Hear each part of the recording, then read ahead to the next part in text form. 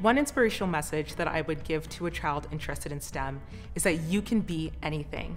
And once you tap into your limitless potential and find someone who can help you harness that potential, you can truly reach your dreams.